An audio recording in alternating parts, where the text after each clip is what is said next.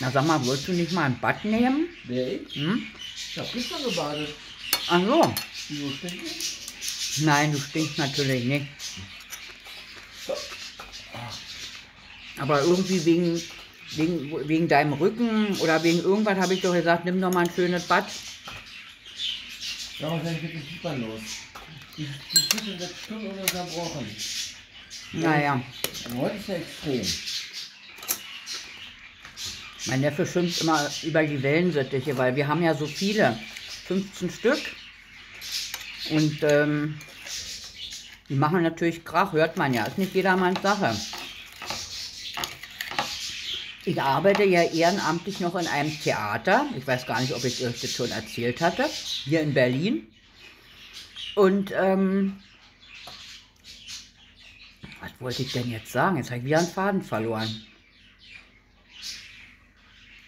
Naja, und für diese Theater habe ich Kuchen gebacken. Ich mache ja so einen Apfelstreuselkuchen.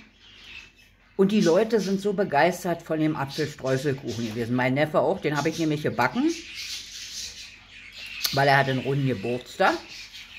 Ja, mein Neffe ist ja 60 geworden. Und äh, ja, mein Neffe arbeitet im Theater. Als was möchte ich nicht drüber reden. Und da habe ich für die ganze Belegschaft, für die Schauspieler, für die Kollegen, habe ich Kuchen gebacken. Die waren so begeistert, ja.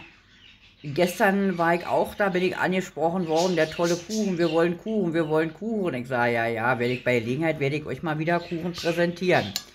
Apfelstreuselkuchen, ich habe so ein altes Backbuch. Ach, das habe ich mal vor, weiß ich. Da war ich 17, da habe ich das von einem Freund geschenkt gekriegt.